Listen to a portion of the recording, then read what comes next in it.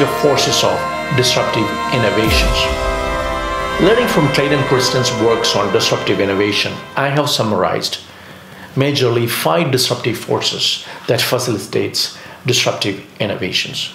In his own words, Clayton Christensen described disruptive innovation as an innovation that transforms an existing market or creates a new market, typically by trading off raw performance in the name of simplicity, convenience, accessibility, or affordability. Innovator's Dilemma by Clayton Christensen. Even though most disruptions are technology enabled, but if the technology is not accessible and affordable to wide majority of consumers made it through their business model, the disruption won't succeed. The value network must support the technology to make it acceptable to a wide markets to gain uh, niche acceptance.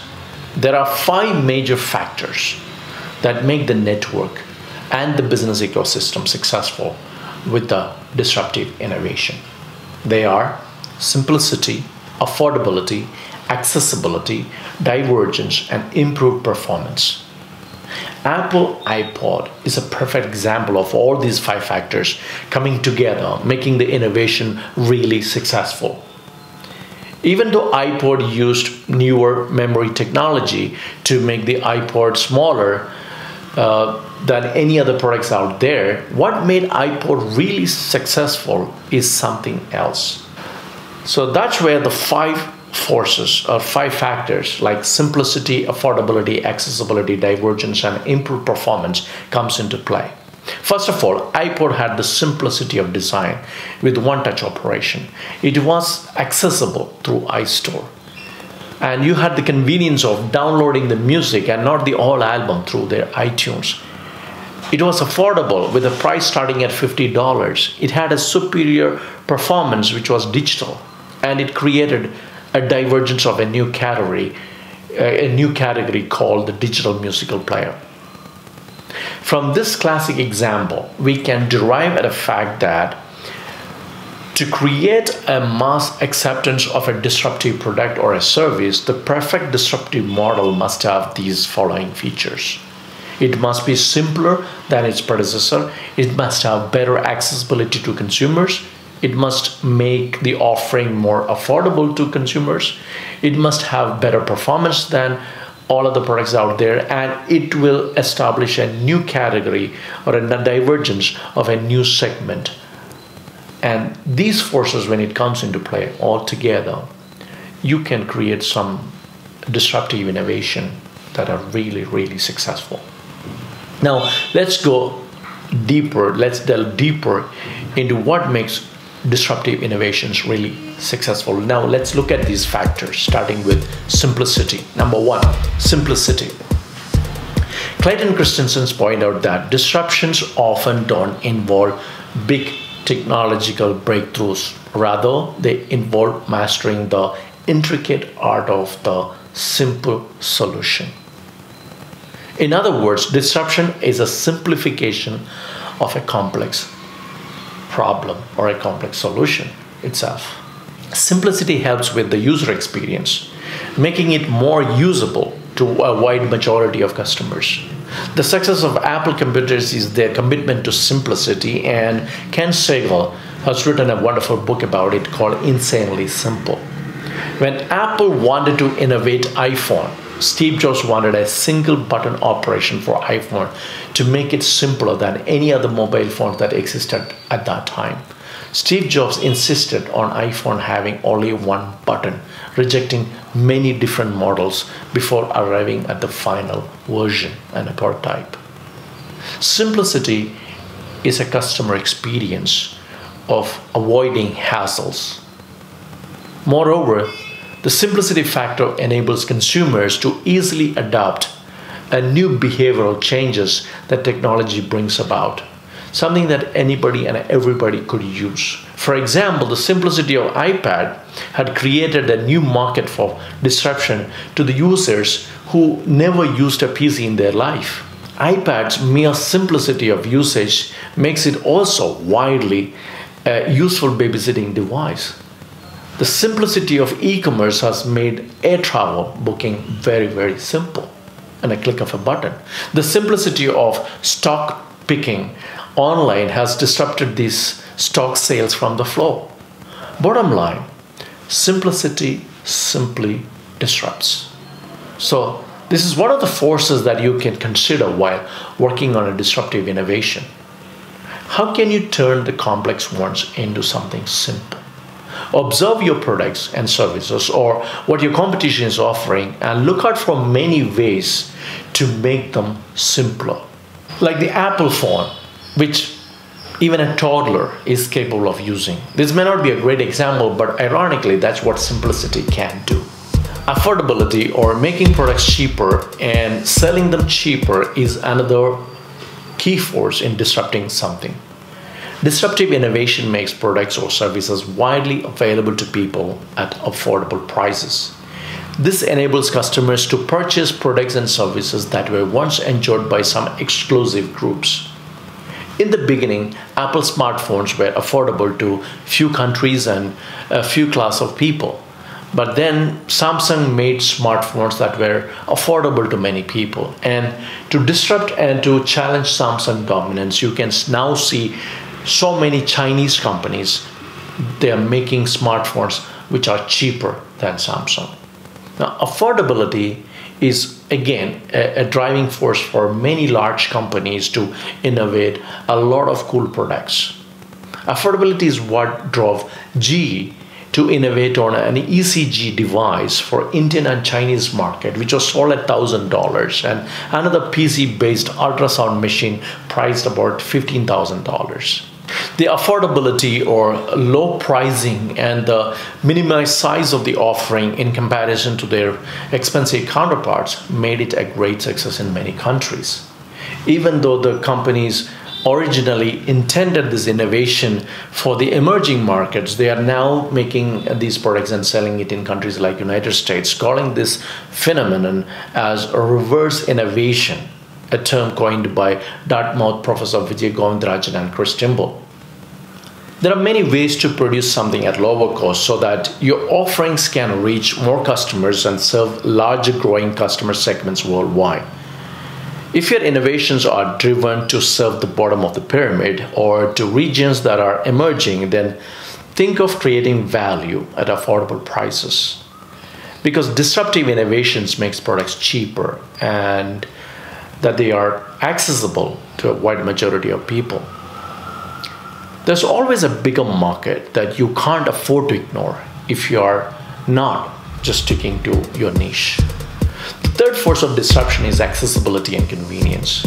Disruptions pave way to product or services that can be easily accessible because of its convenience in application, generating wider acceptance. Disruptive innovation increases the accessibility of the innovation to a new set of users and customers who have historically lacked the money or skills to get their jobs done. One of the reasons why iPod's success uh, and why it succeeded in the marketplace while many other MP3 players failed was that the convenience of organizing music in the iTunes. Steve Jobs explained in a 2006 Newsweek interview that we had the hardware expertise, the industrial design and expertise, and the software expertise, including iTunes, one of the biggest insights we had was that we decided not to try to manage your music library on iPod, but to manage it on the iTunes. Other companies tried to do everything on the device itself, and that made it so complicated that it was useless. When you make products or services more accessible to consumers, like uh, Amazon selling everything online, you're disrupting an old business model like the brick and mortar industry. Bottom line, when you make products or service offering more accessible and convenient to customers, you are applying some of the very core principles of disruptive innovation. Think of it this way accessibility and convenience is ultimately they are values that customers enjoy and it is a disruptive force that can help you redesign your business model. When it comes to delivering value to your customers think of using channels that are convenient and easily accessible to your consumers. Divergence of a new category. Using divergence as a strategy to create a new category in your business offering is a disruptive force that can lead to many radical innovations. Disruptive innovations have the power to develop new market.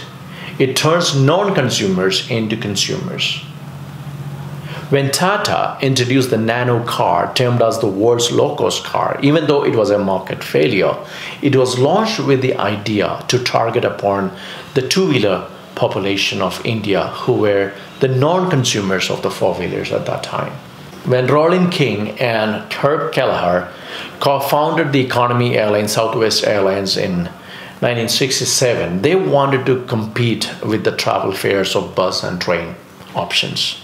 As a result, they created a new user group of airline travelers who preferred the economy airline. For Southwest, it was a birth of a new category, the low cost economy airline. The same model is replicated worldwide as part of creating the new category called the economy airline, which almost reinvented the travel industry, making it very affordable to millions of travelers around the world.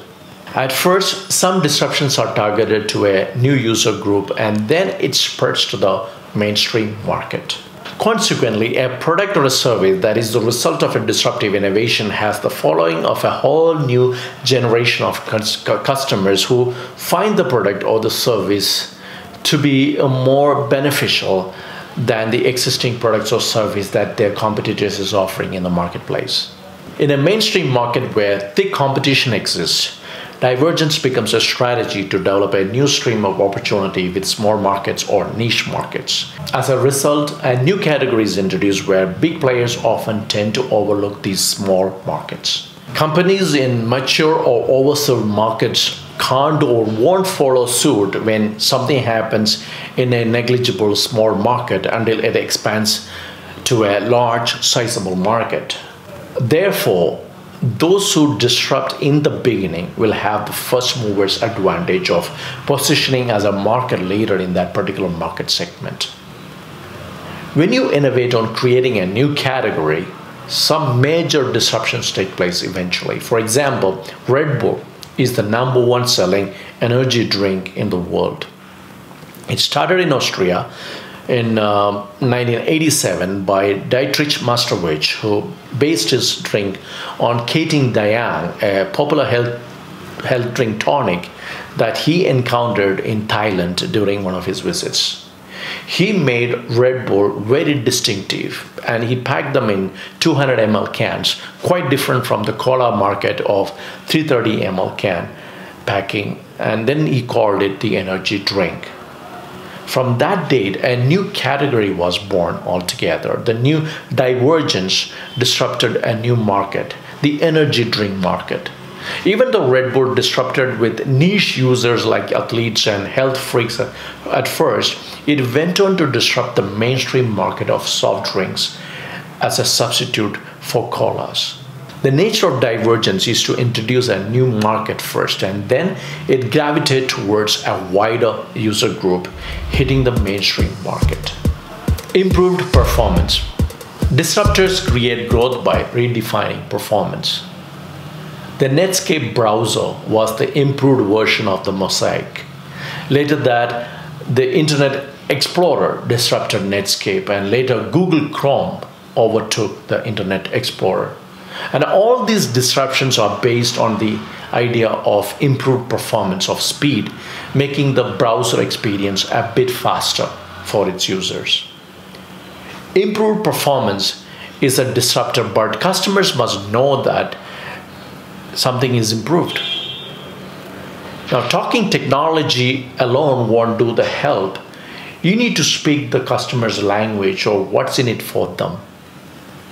Now, iPod marketing campaign is a perfect example to demonstrate this. When iPod made that marketing campaign of 1000 songs in your pocket, it conveyed to the customers what Apple technology is capable of and what it can do for their customers. Apple's marketing campaign of 1000 songs in your pocket conveyed customers not what Apple's technology is, but what technology can do for their customers. That's carrying thousand songs in your pocket. Technology alone won't do the trick of wanting something new. The language of improved performance must be well conveyed through the right marketing messages. When customers experience a sense of disturbance with what they have, they are even more ready to embrace the next big disruptive innovation. Uh, for example, the introduction of audio compact disc initially could not disrupt the audio cassettes, even though it had improved performance as a main feature. The marketers stressed on the high fidelity sound with noise reduction. The use of words like high fidelity sound and noise reduction actually worked. All of a sudden, customers who used the cassettes got the experience of noise in their cassettes and embraced their digital disruption of using compact disc and what compact disc was offering at that time. Compact disc gained their max acceptance through improved performance, but the marketing did the work. So these are the forces or factors that enable you to do disruptive innovation, of course, apart from the technology part of it. So if you have been in a business for a while, the chances are pretty good that your business category has been disrupted by some innovation. But if your business hasn't been affected yet, then staying under this disruption radar shouldn't be a long-term strategy either. At the rate at which changes are happening, it's probably just a matter of time before some innovation puts your business in danger. Somewhere out there, there are some awfully smart people plotting and programming a way to make your business irrelevant. At the same time, you can take this opportunity in looking for the next big thing. There's never been a better time to be disruptive innovative. If you have a great idea, the barrier to market to make that happen is almost shrinking. Today, any resource that you seek is easily accessible on a click of a button. All you have to do is think in terms of how you can create value by making it simpler, making it cheaper, making it uh, making it friendlier, making it more hassle-free. And when you look in those ways to create solution for your customers, you would be looking at creating some disruptions in your field or industry.